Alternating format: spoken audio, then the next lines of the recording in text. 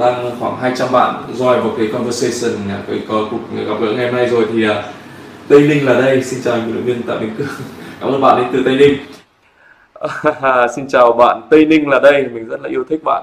Vì bạn uh, luôn xuất hiện dù ở xa xôi nhưng mà đúng là thời đại uh, công nghệ số đưa chúng ta gần nhau hơn đúng không bạn? Tây Ninh là đây. Chào bình luận viên Tạ Biên Cương va độ Việt Nam rồi đó anh. Câu bình luận rất là hay.